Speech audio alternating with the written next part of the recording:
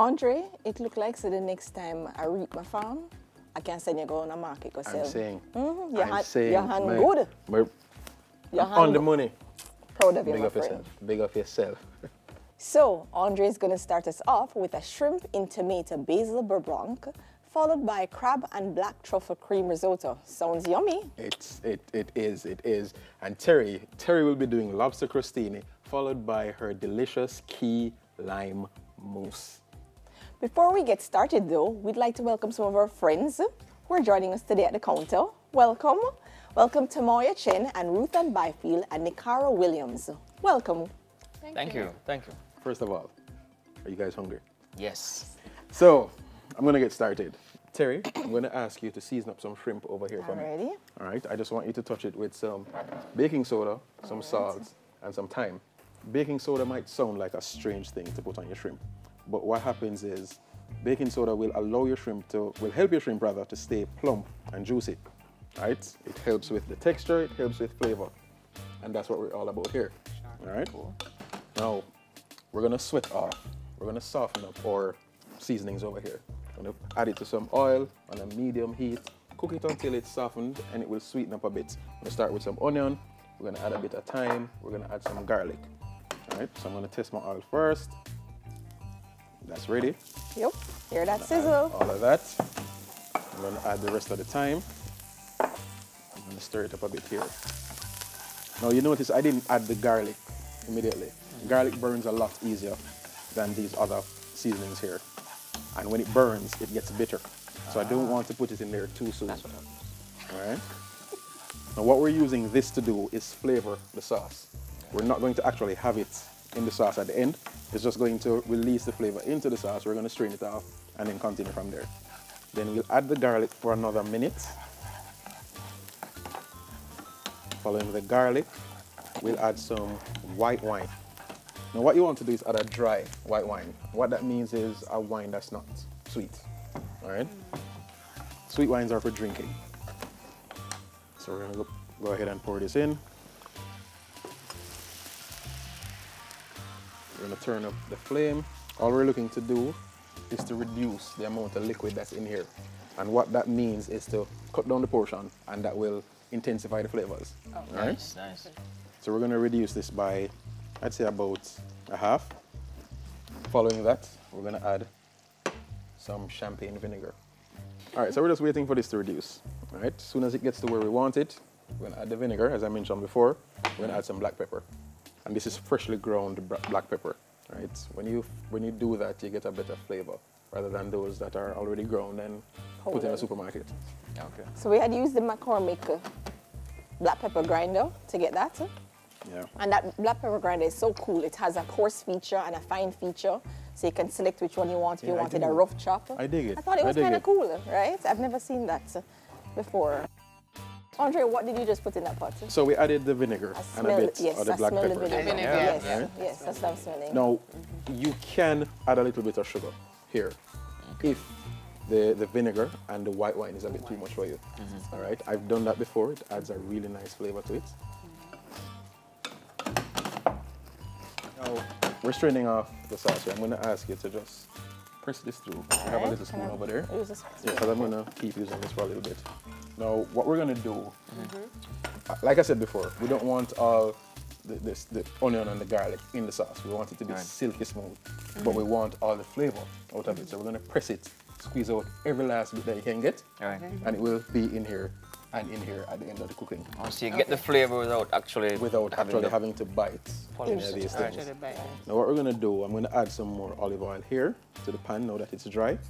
And what we're gonna do after this is just to sear the shrimp for a little bit.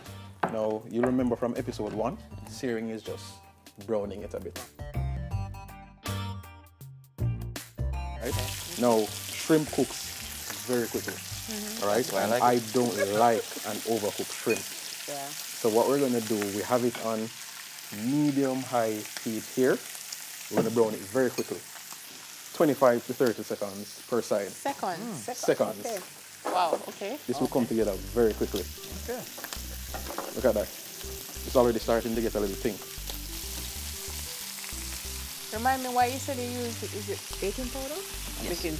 Baking powder, when you marinate your shrimp in baking powder for about 30 minutes. Mm-hmm. Baking soda, rather. Soda. Oh, It- soda. It, will Soda. help the shrimp to remain plump. Plump. But these are about to be some of the nicest shrimp you've ever had. Quite possibly. And I say Quite that with, possibly. with all modesty right Okay. now. Okay. Modesty. All modesty You right all now. know Andre. Is there any modesty in him? Simple as that. This is the, the sauce base. We're gonna add it back to the pan. We're gonna turn this up on high. And we're gonna heat it up a bit. And just let it reduce a little bit more. Okay. All right. What I have over here, I have some cold cubed butter. Mm-hmm. But I'm gonna, I'm gonna remove it from the heat mm-hmm. and add the butter two chunks at a time, stirring constantly. Oh, This is called emulsification. Right? Mm. If I just add the butter there, it's going to melt and it's going to be this big greasy mess. Mm-hmm. We don't want that. We want a sauce that's cohesive. Mm-hmm. Right? I think this is at a decent enough level. I'm going to remove it and just add a few. You don't have to be exact. I said two, but if you add three, that's fine.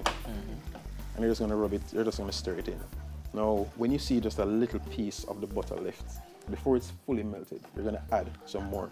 You realize it's really not that Yeah, complicated. it's pretty simple. simple. It's pretty. It's pretty. I guess it's just knowing the steps. Yes. Right, right. Now, this is not the healthiest thing in the world, right? So this is not something I want you to be having every butter. week, right? Right, but because that it's a is a lot of special treat. yeah, this is a special treat, and you have to have that. You can't just leave it calories on count on the weekend. Yeah, Calories don't count on the They weekend. count on the Monday Mondays to morning. Friday. Monday to Friday. That's when it comes calories. Listen, I, I, I, I can't say that too loud. You know, my gym No. trainer. Oh yeah. All right. So we just added the last bit of butter. I'm gonna put it back on the heat. I'm gonna ensure that it's on low flame, all right? Because I don't want the butter to separate. Mm-hmm. okay. Now, I'm going to add my tomatoes. All right. Ideally, you'd want this to go just maybe a minute and a half. I don't want the tomatoes to be this firm. I want them to soften up just a little bit. Mm-hmm. So I'm going to give this a taste and see if I do actually need to add my brown sugar. Okay. I think so. It's a little bit acidic. Okay. I'm going to add a, just a touch of sugar here. What is that touch? If I'm cooking, what is that touch? Two You teaspoons. can do it to taste. okay. You can do it Okay. to taste. You understand? Um, for me, that was That looked right like about two teaspoons. We're gonna add the shrimp. All right. So again, shrimp cooks very quickly. Two and a half, three minutes, and you're done. So we don't want to have this in here too long. We want to ensure that everything is done before, everything is cooked and ready, so that by the time we add the shrimp, we just have another minute and a half, and we're good to go. All right. You notice this isn't bubbling viciously. Right. Right? Because it's I on want low it flame. Gently, mm-hmm. gently simmering because I don't want to overcook the shrimp and again I don't want the butter to separate Yeah. from everything else. Black pepper, a bit more salt, basil, just stir. See how pretty that looks. He added green to the red. Just trying to get the basil to infuse. Very pretty. Yeah. Terry, I'm going to ask you to hand me that serving spoon, please. I'll put this here. I'm going to get to sharing. Again, remember what we discussed before mm-hmm. about a little bit of height adding to your presentation. All right. Can I make that delicious sauce? we are in sync. To bye, bye, bye. And you know, like parsley for me is like uh, the simplest thing to make anything look fancy. Like simplest thing. Thank you. It's green. Ooh. Just now trying to get this ready for you. All right. Two hours, right? Two hours. Two hours to let's ensure this. that everything is in order.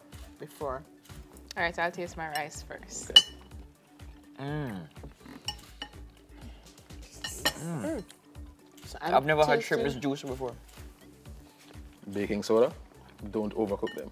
Hmm. Yeah.